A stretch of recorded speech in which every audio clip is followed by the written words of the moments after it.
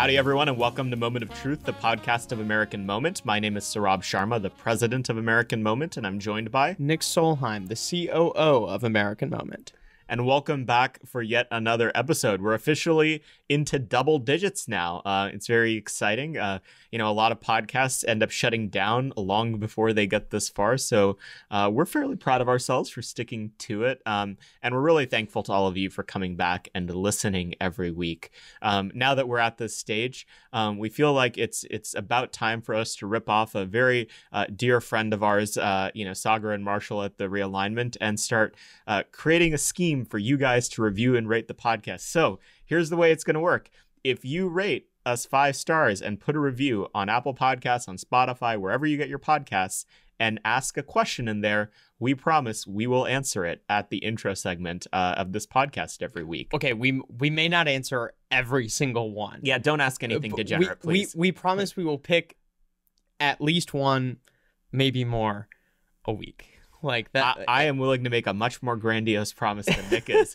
um, uh, provided it is safe for work, this is a family podcast. Uh, we will answer your question, and uh, and uh, if you don't feel like putting it in the review, feel free to email us the screenshot of you rating the podcast five stars at podcast at americanmoment.org, and send in suggestions, feedback, or anything else you have at that as well. You always offer that, but but that email address goes to me. I understand. So if I get any critical feedback, it comes to me, not mm-hmm, to you. Mm-hmm. And uh, and I'm very excited for you to have to deal with that critical feedback. Nick is right. more than more than happy to to answer any emails you have. So please feel free to to send him something. Um, but.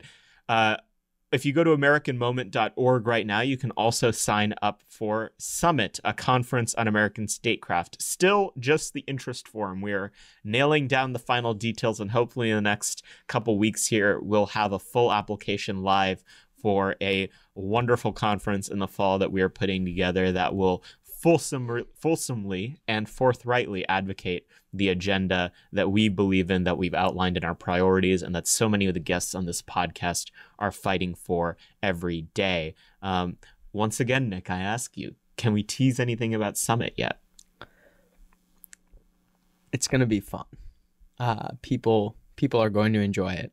Hey, there's going to be a lot of good food. Actually, I do know that. Uh, I have I've I've been on a couple of food tastings uh, at a couple various venues, and I have to say it's all been pretty good. So there will be good food. I can promise at least that much.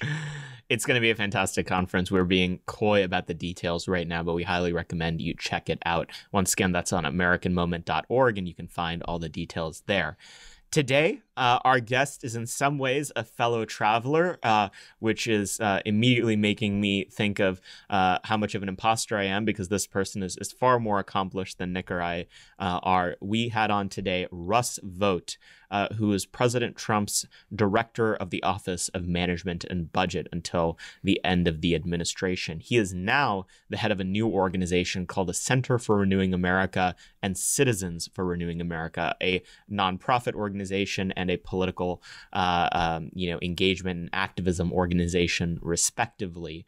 Uh, Russ is one of the leaders of, of these new organizations that are spinning up every day that we consider ourselves a part of, that are thinking about the future of the America First agenda, how we continue the gains we made during the Trump administration, and how we avoid some of the mistakes that we made during the previous administration.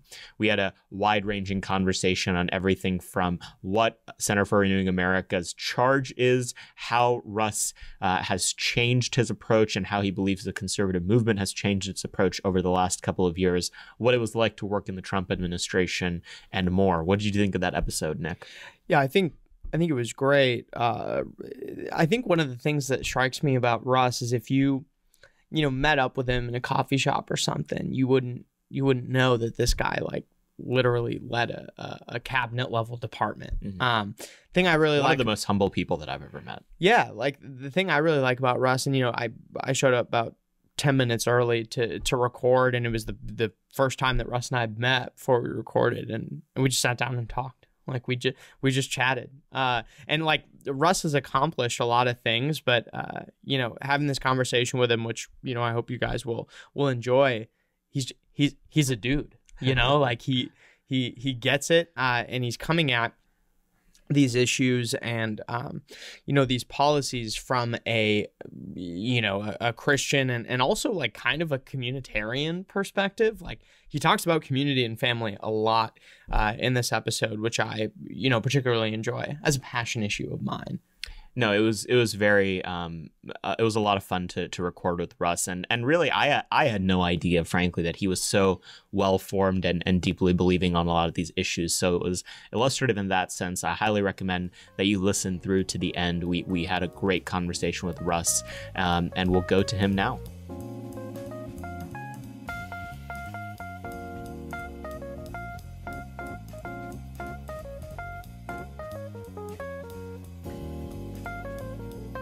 Thanks for coming on the podcast, Russ. Thanks for having me. We always like to start with trying to, you know, tease out what people's story is and how they got to the uh, position they are in now. You're coming off of four years in the Trump administration. Why don't you walk our listeners through how you got involved in politics and, and what the path you took to the position of, of influence, I think, that you have now? Sure. Uh, I went to school at Wheaton College. I had to do a political internship. I came out here to DC really after I had walked with the, to get my diploma and I did uh, some internships that really opened my eyes to the fact that these jobs existed, and I never left. Uh, my first job was working for Phil Gramm, senator from Texas, and uh, was in his policy shop pretty early on. I went on to work uh, for a couple of House members and run the Republican Study Committee. Uh, went into leadership, saw that perspective uh, when Mike Pence was in leadership, and then really after a number of years, I wanted to basically say, okay, I've, I've spent a lot of time trying to explain to members how they should vote or recommend how they should vote. I want to take that uh, that knowledge and just give it to the movement and be able to give that straight to activists so that they can uh, be a force multiplier. At the time, Heritage Action was getting going, and I built the the, the Sentinel program into making sure that there were you know 17,000 activists who had that perspective and knew just as much of a, as a member of Congress uh, when it came to the policy, the process, and the politics of a of an issue. Uh, and then Donald Trump got elected, and I went uh, and was there on day one at OMB and was there for four years, um, ending up as the director. Now, OMB, uh, you know, us wonks know that's the Office of Management and Budget, but uh, what exactly does that agency do? Um, it's it feels like one of those things that that talking heads on cable just just mention, but I, I think a lot of our listeners could benefit from sort of understanding the details of what exactly the agency does, what value it provides to the White House and and to the federal government writ large. Sure, it's a cabinet level agency within the White House structure that does primarily three things. Number one, any fiscal decision, any budget decision goes through OMB. Um, constructs the president's budget. Uh, every regulation goes through OMB for a cost benefit uh, assessment. Uh, and then finally, anything that's a whole of government execution, this is the, really the management uh, tag, anything that's whole of government um, involving multiple uh, cabinet agencies we would have a hand in making sure the president's prerogatives are being uh, championed through the bureaucracy. So something like the wall, uh, where you're dealing with trying to get Department of Defense to fund something for Department of Homeland Security, is the perfect type of issue that we're going to work on, or critical race theory. When the president says, "I want to, I want to not fund critical race theory through the federal government," that's involving all of the agencies, and we have to then make sure that the president's uh, agenda is executed. So when you got in uh, to the Office of Management and Budget, uh, what was that like that first year? Uh, obviously, the president was an outsider, and um, it, uh, there's been all sorts of ink spilled on how it, there was some some dis, uh, disunity and disorganization in those early days. Uh, a, you came in at the at a deputy level, right? Initially, mm-hmm. um, what what were you seeing um, as one of the people who was who's right there in the thick of it in terms of how the early days of the administration went, and and what was the pushback you got from uh, an, a recalcitrant agency that, like all of them, was resistant to any sort of conservative leadership. Yeah, I came in as even as a senior advisor before um, I got nominated to be deputy, and so I was, uh, you know, there uh, staffing the OMB because Mick had not been confirmed yet, and so. Uh, I was really OMB's representative in all in all the meetings. I mean, I think that the early days were I viewed the Wild Wild West, uh, you know, many different perspectives, uh, a lot of people in meetings, Um, if you thought you were going to talk about one issue, you were going to talk about 30 different other issues. I mean, it was it was uh, it was intense, um, and yet uh, we were still accomplishing a lot of things. I mean, I think at that time the real challenge was that the agency heads really believed, in some respects, that they got to run their their turf, and that's not the vision that the president had, and that's certainly not the vision the American people had. They they elected Donald Trump, and so you know, whether it was the State Department and, and Rex Tillerson saying we're going to keep high levels of foreign aid and, and us proposing no, no, you're not. Uh, that was the type of discussion that, um, you know, had a lot more of, uh, of, of attention around in a way that wasn't later on as the president got a lot more people who were more ideologically committed to his program. So, can you walk us through like how things changed over time. Like after that first year where it's kind of like the wild wild west. Um, we were talking about this a little bit before the show, but but walk us through um, kind of how things changed over time. You know, as as as staffing changed and as uh, you know the president's initiatives uh, became more uh, well defined. Mm-hmm. Well, the president, in and this is a theme for the entire administration, but we were all kind of putting our hands in the gloves of how to run these uh, agencies and in the president's perspective, all of them. And, you know, I think he was figuring out along the way uh, the type of staff that he wanted, uh, the types of chief of staff that he wanted, and how he was going to uh, make decisions. And, and, he got a lot better over the over the course of time as he just learned more and, and knew more. Um, and I think, you know, uh, each chief brought a different um, you know improvement. Uh, John Kelly brought a process where we didn't really have much of one before, uh, which allows a lot of the business of government to do, and he certainly had his faults. Uh, and then when you get to Mick and Mark, they clearly had much more of the president's mind and let the president be the president. And uh, I think we saw that um, when we began to use PPO, that's the, the personnel office for, for those outside of DC, to make sure that we were getting you know ideologically committed individuals up and down the agencies, uh, which is another thing. I mean, the agencies had generally thought, you know, we get to choose our people. Uh, that doesn't really work uh, because you know these are incredibly critical positions that the ability to execute is often on an individual's view of what is the art of the possible and ideolo- ideolo- ideology. And so you really need someone that's all in and can take risk and be smart about how much risk the president will want to take versus how much he what he won't, and can they get inside the mind of the president, uh, and do they want to? And that and those that was a progression over time, and it was something I think that OMB we really brought to the table because we loved the president, uh, we loved his agenda, and we were trying to figure out what he meant by something he said so that we can deliver on that and not just the the letter of the law as to what he had said. Yeah well and that's the thing too is that you know for someone coming into dc from outside of politics and from outside of the uh, the bureaucracy i mean the president was really kind of thrown into a den of vipers right? Of of, of people who you know, have built a career off of, you know, selling out the American people and, um, you know, I guess imposing their will on policy. Um, you know, and and I guess like in retrospect, four years is a is a very quick time to have to learn uh, how to survive in a scenario like that. Um, one thing that I'm kind of curious to ask, you know, we've talked a little bit previously about um, you know Trump's term to uh, you know priorities. You've started an organization uh, to you know push some of those priorities. Can you kind of uh, walk us through you know what those would have been? Uh, you know if Trump had had uh, you know continued to be president, and then you know your new organization and what you're working on now. Sure. Um, you know I was uh, talking to Nick earlier. We had a, a list of things that we would have accomplished in in, in term two. Uh, and then there was the list of things that you know would be harder to accomplish in government. That you know, uh, if if if it was the unfortunate situation where we were not in office, we would we, we, we would need further thinking on, and and that's what we're now doing with the Center for Renewing America. But it's essentially to keep the fight going on America First issues. And I use the Afghanistan issue as a perfect example of why we think that there's a need for both policy development and uh, a network of of America First activists to be brought into the the fight generation here in Washington D.C.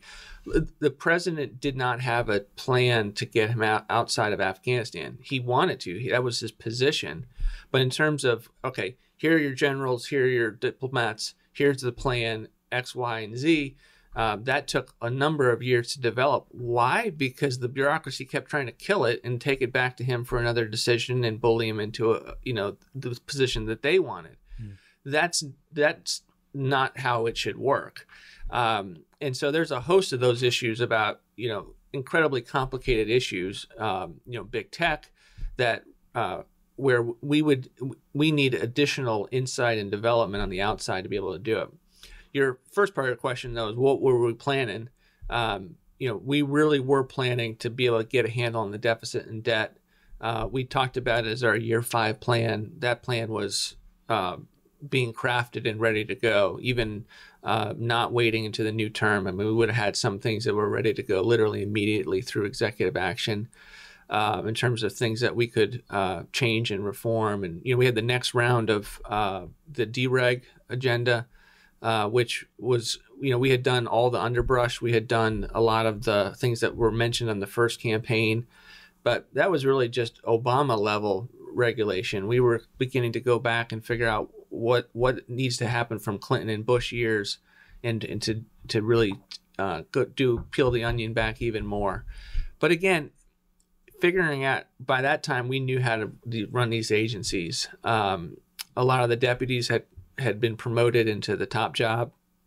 And so uh, we were finding things that we could accomplish literally every day because we worked for a person that if you took a good idea to him, um, we would, you know, it would have been something that we could have executed on. Um, we would have probably taken on the independent agencies uh, from the regulatory perspective, which would have been a sea change. Uh, that was very much uh, in in the pipeline. When you talk about America First issues, um, I find that especially now after the president lost reelection, um, I always have to have a follow up conversation with someone when they mention that because I think it means different things to different people. Um, you know, I, I look back to the themes that the 2015 2016 campaign was run on, things like restraining our foreign policy, immigration, trade, as sort of the cornerstone of it. How do, how do you define what America First issues look like, um, and, and and and what that what that even means to begin with. Sure. I mean, I think it, to zoom out a little bit, and then I'll answer it directly. Is it's it's to remember that with every policy determination, looking at it through the filter of what's good for this country, and and maintaining the coherence uh, and the the uh, ability of this uh, country and nation to stick together uh, and be able to pass it on to the, our next children, to leave uh, a, a, a critical mass to the next generation. So, you know, an issue of border security is not just an economic issue. There'll be some aspects that are that are you know go to economics of it, but uh, we are trying to make sure that we know you know, a sovereign country needs to be able to secure its borders and have a say as to whether bringing in people to it and a particular type of people goes to whether it's good for the country. So, you know, immigration is obviously front and center, ending endless wars, refining commitments overseas, and yet doing it not from a libertarian perspective, but doing it from a strength perspective. Um, trying to make sure that uh, from a traditionalist standpoint or social conser- typically old school social conservatives that we are taking those issues seriously.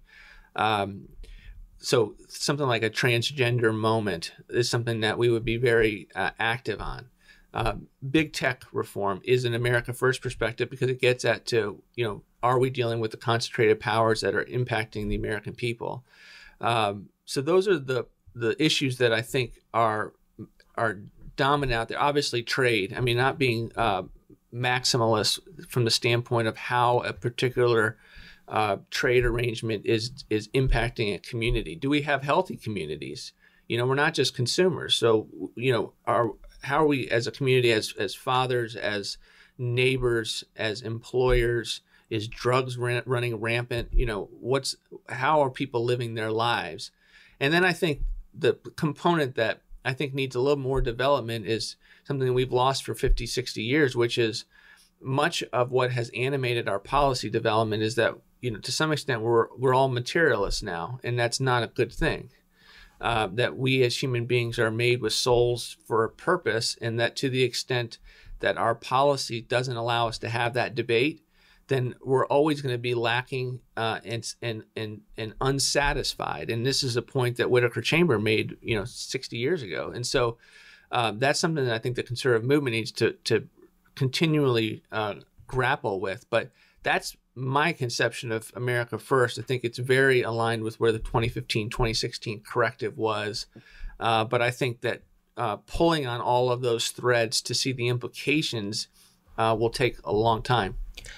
How do you see that agenda as differing from the Tea Party wave and that movement that came in the 2010s, uh, early 2010s, uh, late 2000s. Um, you were intimately involved mm-hmm. in all of that through what you were doing at Heritage Action. Um, you know, in, in my mind, there's some there's some obvious breaks from that agenda that America First implies. Um, what are those for you, and, and sort of how did you how did you think about that approach? Have you always had those sympathies to begin with, or or, or you know how how did you make that transition um, as this new movement came about? Uh, great question. You know, I the the people are generally and often similar people. The Tea Party activist is the same America First act- activist, not always the same. There's many new people into the part of the process, but um, I think the Tea Party moment was the first awakening that something is really off and you had a massive expansion of government, which I think is an America First issue. I'm happy to drill down on that a little bit more. But it was the first time that people said, "This is a massive problem. They, I have the same mortgage situation. I'm paying my mortgage. You're not. You just foreclosed. You ruined our neighborhood, and we're going to bail you out." So it was, it was a, it was a the first corrective, but it it took us a while, I think, to deduce as a movement what were the most important issues facing the country at the time. So, at, you know, we were starting to get our handle around on immigration. Um, Bush was pushing amnesty. Uh, that had always been something that the movement um, uh, was fighting, but it took us a long time to say front and center. What if we were to design a policy agenda based on what's on America people's American people's mind and the most critical issues to the country? what would those be? And I think right now, um, the America First corrective has given us a better shot at deducing that what we're fighting on is what is the number one fight. Um, and I, you know, I took a look at an issue like uh, corporate welfare, which I think is a very important issue. Um, was that the particular fight that we should have fought and rallied the entire country to? You only get a couple of things that you can rally the country to, uh, and I think figuring out how to to to to do that uh, responsibly, I think is one of the correctives that we've we've determined. When it comes to growth of government, um, fiscal responsibility, deficits, um, I think that there's a lot of people who who identify as America First conservatives who who who see themselves as part of this new right that are a little bit less interested in in putting those issues front and center on our agenda, and then um, you know, even more broadly, sometimes see those issues as an or or that framing or the prioritization as an impediment to other parts of our agenda. One of the things that we heard all throughout the Trump administration and still do is that the reason we can't regulate uh, big tech is because that's big government, that's uh, you know expansion of size and scope of government. A, do you agree with? Uh, where do you disagree or agree with the assessment that those issues are are, are maybe not fit to this moment? And, and B, how would you push back against people who say things like that? Yeah, I think that uh, it is, I believe that the big government, uh, the view that America first necessarily means big government is wrong. And I've, I've said that in, in kind of the, some of the justification for our new organization. Um, I, I view it as um, there are things, often the free market limited government can be a, a, conversation stopper. And I think that's really the problem and where the reaction has been, where the tension has. On big tech, it, since why can't we use antitrust laws that are on the books for concentrated power? I understand that there's been 40 years of trying to get antitrust laws back in a box uh, that uh, many on the right were a part of. Uh, Justice Scalia, Justice Bork, and I, that's great. That doesn't mean we don't have a real new threat that needs to be uh, thought through with regard to the tools in our toolbox. And to the extent that you know limited government is just a shield, uh, I think that's where the problem comes in. On spending, on big government, you know, I think there's this view that you if, if you care about spending, and I do, I mean, it's my kryptonite. I hate spending taxpayer resources. That doesn't mean I don't want a big Navy. That doesn't mean I don't want a wall. That doesn't mean that uh, there aren't federal priorities that deserve federal resources that I'm excited about. Uh, and I think that the American people are excited about. And this notion that uh, you have to, it's either all or nothing, I think is, is um, um, where, you know, free market folks that are a little more libertarian that don't want to have uh, a large, robust federal government would would take issue with, and those on the left that say, well, you're not consistent when it comes to defense spending, and so you don't get to participate either in the conversation about limited government. So, I, I think big government's an issue. I think if you have big government uh, expanding into people's lives and communities, um, it means they communities can't function well. You don't have healthy communities. Uh, you don't have people in, in civic society stepping up to the forefront. And so, you know, I look at it from a, a little bit different angle about why I would care about it. I also think you, you can't expect the people that needs it to have frugality in their life to then have a, a federal government that is is the reverse. So, you know, in my mind, it's it's not uh, there's no it's not uh, a, a, challenging question to figure out why the movement is rising up against Biden's, you know, four trillion and counting uh, spending plans uh, that are totally inconsistent with America First.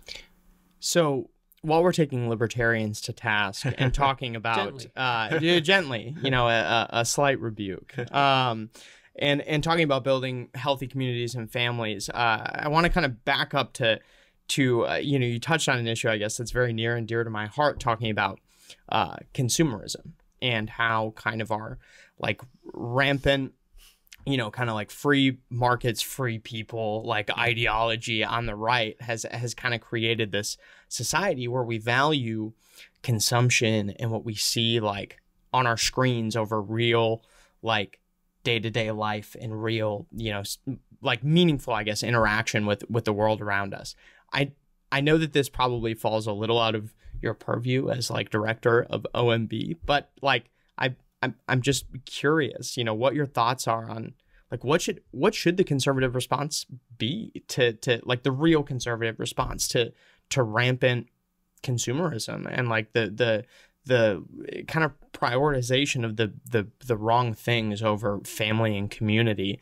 Um, since you brought it up, just curious to hear your yeah, thoughts. I, I, I'm very interested in it. I think that we do ourselves a disservice when we um, just assume that all is good in our house, right? And that we can just talk about freedom and that's the end of the story and that is, you know, the highest aim. I love freedom. I think it's essential. It, it was also intended to sit on the a moral framework of a of a you know uh, a religious and moral uh, set of values that have largely uh, fallen away in a secularized society.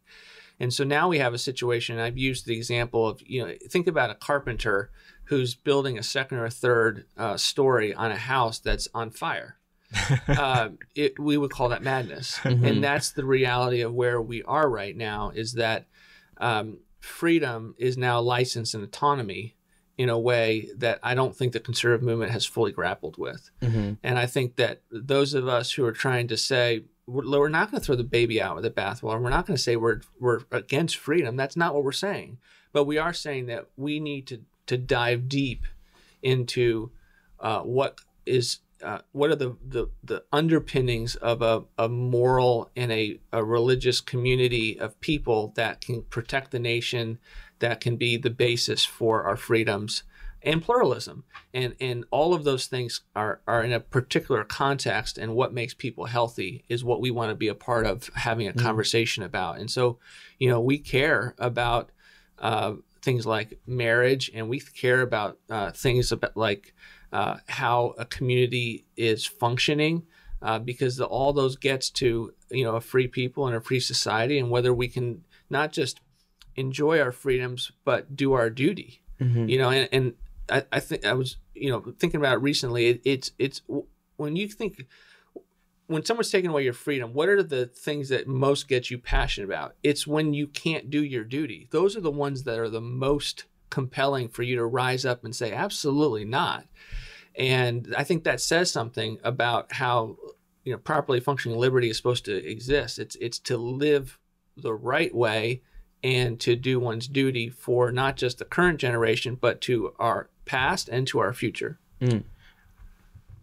so with the approach and mindset that that you've laid out here you've created a new organization called the Center for Renewing America and and another sister organization called Citizens for Renewing America um, very explicitly sort of what are the charge of those two organizations and how do you intend to take the approach that you've laid out here the way of thinking about politics and policy and and and you know bring utility to the movement to implement it uh, both of them are charged with a, a, of regaining a consensus in this country about what it means to be America. That we're a nation under God, uh, that we have uh, certain interests as a people, as a country, uh, that flow from our people, our history, and our institutions, and that our enjoyment of freedom, as we just talked, is, comes in the context of just laws and healthy communities. Uh, we want to take that to the policy development process and to make sure that these America First type issues uh, get fleshed out and developed and not turn the page on them. And similarly, we think that that needs to happen not just in DC, but in, in grassroots uh, with building leaders who are dedicated and knowledgeable uh, in ordinary lives, uh, not unlike what you all are doing in your organization. And so uh, we will be successful as a movement when there are leaders all over the country who are performing statesmanship like activities in their neighborhood in their business because and here's the issue you know they have particular people that they lead and so i can come and give a speech or you can come and give a speech but that's just not going to be the same as individual employer or individual father or individual church member saying here's what i think about critical race theory here's why it's bad and getting the tone exactly right not just the head knowledge, but the heart knowledge to be able to speak into a community and say, uh, I care about you and I think you're wrong on this, and here's why. That is what I think is statesmanship at the grassroots level, and we need more of it to make sure that people have both the urgency of the time, is in, in your parlance, what time is it?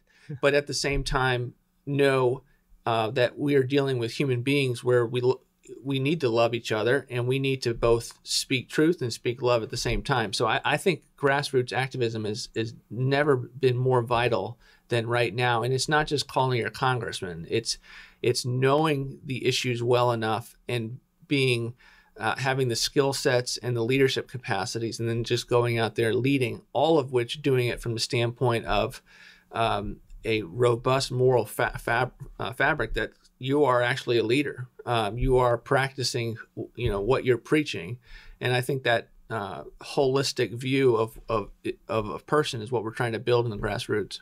So I, I, I guess just walk me through the mechanics here. Um, uh, the term grassroots activism gets thrown around a lot. Some people think that's just tweeting. Um, you just mentioned calling your congressman. Obviously, that's another thing people think about. But but very tangibly, what what is the impact that an individual citizen can actually have on the process in DC and, and certainly not just you know individual citizens in concert you know 10,000 of them in a in a district or a thousand of them. Um, how does that actually work? You've been inside Congress you've been inside a presidential administration you've been in the nonprofit sector you, you've sort of seen the gamut of how this works. Um, does it matter? And and it seems like you believe it does. How does it matter it does. Every member of Congress is different. Uh, they all have a different center of gravity at the end of the day. What makes them fight or not fight? What makes them care, not care? What makes them p- change their position or not pos- change their position? And then all of them are different. They all have different interests. And you got to figure out what those interests are and try to uh, help align their interests with the interests of the country. Hopefully, we all wish in a perfect world that would be a given. It's yeah. not always a given. And so figuring out how to align those two and then figuring out uh, how to be voices into their center of gravity and their supply lines. And, and I think that's uh, the approach that I've always brought to it, which is, um, you know, how do they make a decision? Who do they rely on and be a part of that conversation? And um, there are, uh, at that point, you're looking for leaders in their district, in their community who have platforms uh, to to be a meaningful voice. And so that can be on Twitter, it can be on Facebook, uh, but it also can just be uh, someone who has a big e- email list. It can also be someone who uh, is public is a, is has a lot of uh, uh, public exposure in their district. It, it could be a donor. It could be someone that's just a friend of a friend. I mean, put yourself in in all of our decisions when we formulate our views on a topic. Who do we look to? Um, we typically look for someone who we trust, who we think is accurate, uh, is going where we're going. And all of those things are trying to how we unpack building up leaders with big voices in a particular district and then figuring out how it can be used. And uh, we have found it to be very successful, and that's what we're trying to build. No, it's it's exactly uh, from a different angle the approach that we have. Um, you guys recognize that the grassroots and local leaders are part of that that horizon that a legislator or someone else in power, uh, you know, ha- takes input from, and we look at staff. And when we mm-hmm. realize that that down to the most junior level, the environment being created in a congressional office itself is extremely important. Um, what so so you know you've mentioned critical race theory a couple times and to me that is i think the perfect example of an issue where what you're doing is so important because i don't think people really understand yet what ex- exactly is going on. And, and, i think that there's some problems with the term. I mean it's just it's critical race theory what does that mean? It's it's, it's a very academic term. That's where it comes from. Um, walk me through how it is that you guys are are are working on educating the grassroots and working on educating policy leaders on that issue and and how you you came to recognize it as as a civilizational crisis in in the way that that you do? Um, right now there's probably no other issue except for voter integrity that is is front and center on the minds of the American people, grassroots particularly. Uh, and and I'm seeing it constantly. I'm seeing people who see me on television and say, "Hey, you know, I'm not really that political, but I really care about what you're doing because I don't want my kid to go to school and be told that they're a racist uh, because of the color of their skin." Uh, and so this is not just a conservative movement issue; it has a lot of legs uh, as a result of kind of the the force that the Biden administration is using on issues of equity. But just to back up to talk about what it is, um, you know, 1843, Karl Marx says uh, we need to criticize the existence of everything. And uh, the point within Western civilization was criticized on such a level that it would cause a revolt of the elites and that the, all of society would begin to just stink uh, and that people would lose their commitment for preserving and conserving the the the the, uh, the, the the civilization that we had, society that we have, and so you know, fast forward over the next hundred years or so, you see in, in the left, uh, particularly in the universities, uh, the critical race theory, critical gender theory, uh, all of these things are flowing out of that strategic proposition that uh, we'll be able to pull down our institutions if everything begins to stink. Um, critical race theory basically says, look, we are not headed towards a colorblind society, that we are not headed towards um, the type of society that Martin Luther King articulated for, that you are judged by the content of your, your, your character and not the color of your skin. Instead, um, it's a, it's a it is criticizing that viewpoint in that it, you must be a colorblind you must be a, a uh, a color based society to be able to actually remove the equities that we see around them. Um, and this is on the left is is comes from a view that um, you know when when you don't deal with sin properly in your your political theology, you see sin at you know it's there has to be some excuse for why you see inequity or see bad things out in society, and so uh, that must be because the institutions that have been built up, um, and so your your then your strategic desire is to pull down those institutions or riot or or uh, deface uh, diners and, and and restaurants, and that's what we saw last year. And so uh, this I believe this philosophy is so uh, noxious because it's not just changing, uh, you know, our diversity training programs. It's impacting every institution in every community in the country and causing it's it is given a reason to revolt and a re- reason to have society pulled down uh, by the rafters. And i think we've got to reject it uh, and then also uh, be able to point to what has made our, our country great um, that we are all made you know created under god equal and and given inalienable rights as a result. And that's the future. That's what we're trying to to uh, to affirm. So it's a lot there, uh, but I think that this gets back to the strategic designs of the left, and they have some some some years on on when they came about.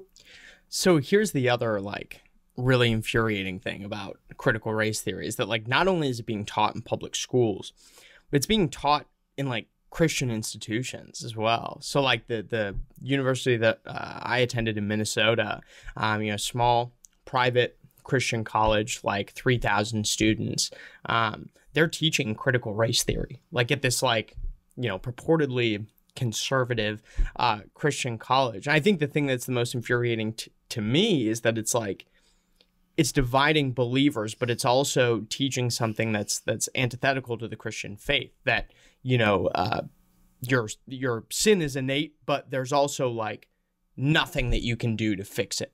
Um, which I think is like antithetical to the to the you know sacrifice of, of Jesus Christ. I mean that's like mm-hmm. you know for those of us who are Christians like that's what that's what we believe in. Um, and I think critical race theory is is completely uh, antithetical to that message and and and to the beliefs that this country was was founded upon. Um, so I guess my my kind of follow up question, uh, you know, to what you're saying is like, how how else you know aside from you know, pulling funding for this out of out of schools and that sort of thing. Like, how else can we fight back against this evil ideology? I mean, it like completely again like antithetical to the American idea. How do we fight back? Yeah, I think there's a a, a couple layers to the the problem that you just mentioned. Number one, uh, the most immediate is just Christians have a different we have a split view. We do not have a consensus, unfortunately, that I think is the right consensus to say, uh, you know, that we can care about diversity and we can care about making sure that people are all uh, equal in, in the sight of the law and their creator.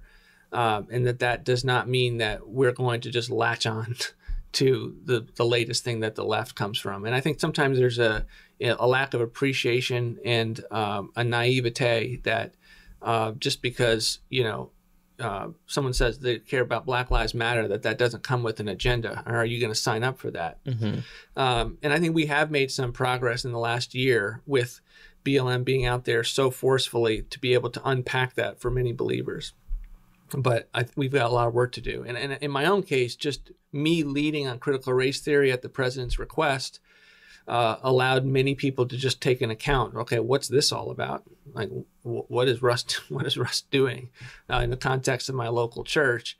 And as a result, I think many people said, "I'm, I'm, I'm on his side uh, because I think he's made a good case, and now I kind of see what's going on with that that viewpoint." So I think short term, um, it's people leading, and what I mean by leading is speak and speak to your network of people, however you want to do that. That could be an op ed, that could be a Facebook post, but naming what you're opposed to, why, and making the case for it, um, and, and being smart about it.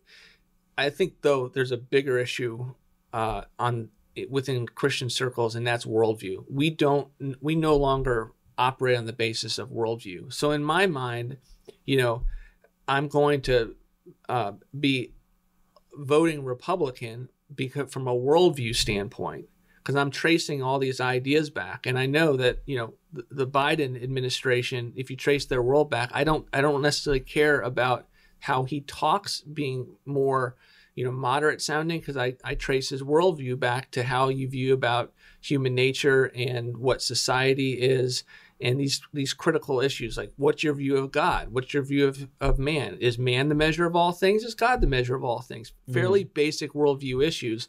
And now christians generally particularly elite christians no longer think on that basis. They are looking for a third way and one that marries i think unbiblical ideas with things that they're locked in like on pro-life and and and, and gender issues. And that lack of worldview um, uh, conviction has caused them to go down all sorts of of of roads that just lack clarity at best and and is just damaging at worst. Mm.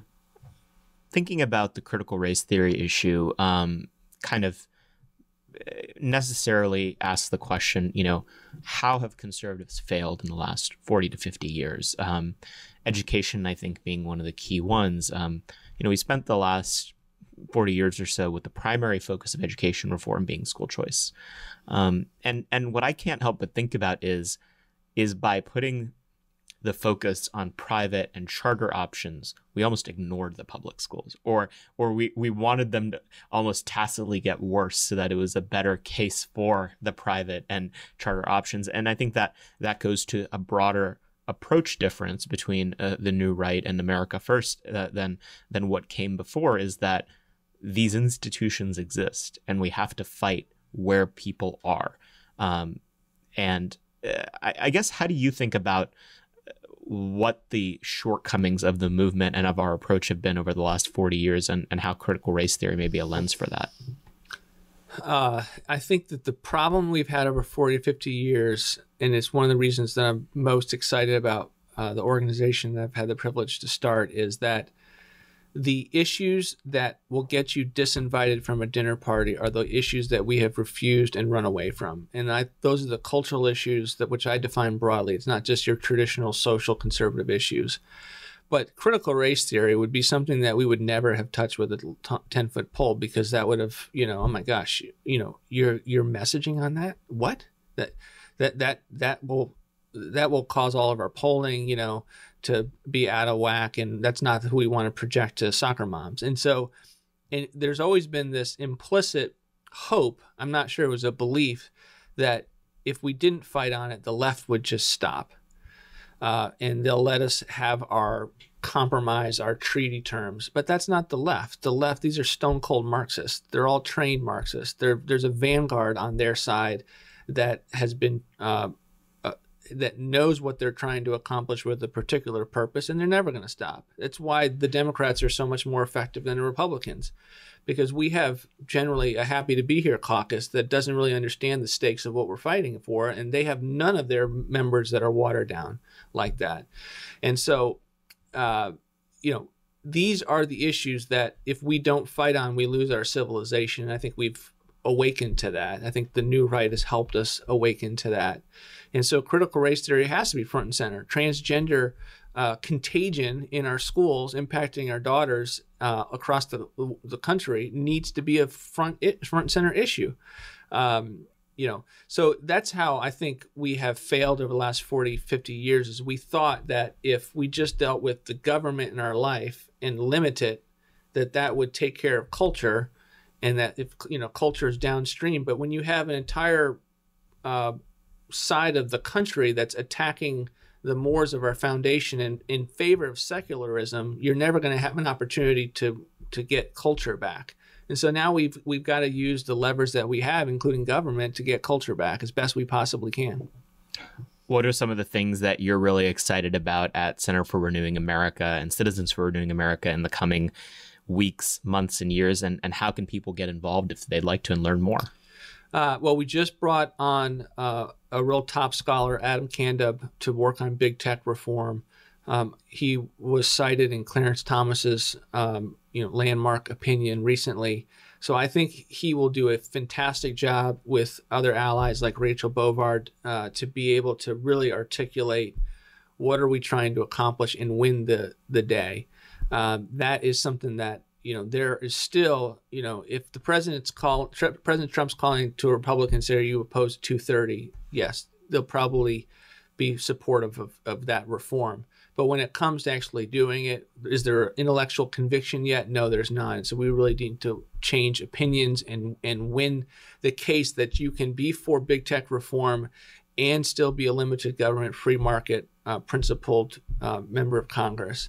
Um, we're going to continue to fight on the, the the infrastructure bill that Biden administration. This is just not infrastructure, and I think since we've been talking America first, um, you know, the left's going to use things that uh, sound good to our constituencies to mask their big government proposals. Everyone wants good roads and bridges. Exactly. Um, and if that was what we had in front of us, um, which the Republican pr- plan put forward, um, you know, that would be a fundamentally different conversation. But to the extent that you're using the term infrastructure to bless um, a grant program that blows open uh, neighborhoods and single family single family housing, uh, that's going to be the type of thing that we have strong issues with. Uh, so we'll continue to work on that. Um, and then what I'm really hoping to do is really begin to expand on what we do in getting us out of endless wars uh, and refine and and uh, reassess our overseas commitment uh, because I think that's one of the biggest needs in this town.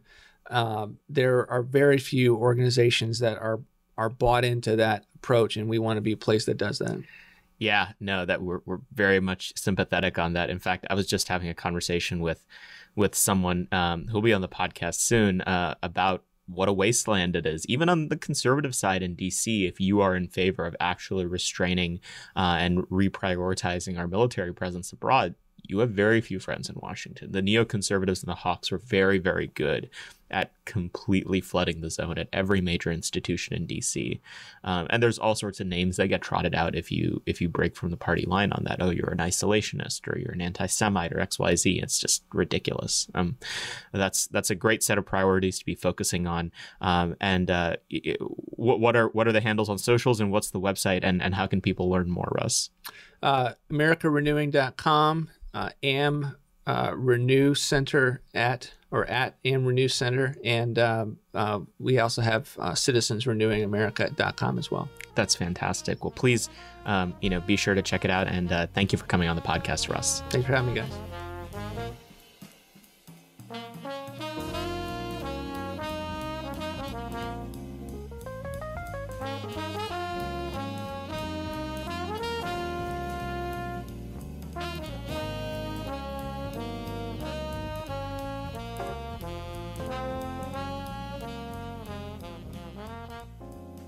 Keeping in theme with the conversation we had with Russ about organizing at the grassroots level, I wanted to bring attention not only to a particular article, but also more broadly a series of articles and an author that I've learned a lot from over the last couple of months. His name is David Hines, and he's been writing a column for the American Conservative magazine, which we obviously adore here at American Moment, um, all about organizing and activism, uh, sort of at a theoretical and conceptual level, uh, and where the right tends to fall short. And one of the best articles he's written on this topic is is very plainly titled "How the Right Can Organize Like the Left." Um, and there's a central insight that he talks about in that piece, along with others, that I wanted to really drill down on, which is um, I'm sorry, there's no marketplace of ideas. It's not real. It's fake. You were led to believe that something is real that isn't. And I don't want to over extrapolate what that means, but w- the insight that David and, and I are getting at when we when we talk about that is that good ideas alone cannot save the day, that you need to have people who understand how institutions of influence and power work, how to manipulate them towards your end, and how to have the right people in them in order to bring ideas across the finish line. Um, I highly recommend that you check out um, uh, David's entire series because it'll give you an idea as to uh, the fundamental poverty of the way that the right tends to think about power and how, especially when it comes to implementing a realigned agenda for the right, uh, it's extremely important that we rethink some of our approaches on these issues and realize that good ideas are important, but there's a lot of layers to that pie that matter a lot more. Yeah, and the the piece that I'd really like to highlight this week is actually uh, another Substack. I know I'm I'm you know pretty heavy on uh, recommending these Substacks, but uh, this Nick, Nick would like to bankrupt every publication. He just wants it all to be Substacks. yeah, everyone should should just start a Substack. Yeah. Um, yeah, we I should look into that.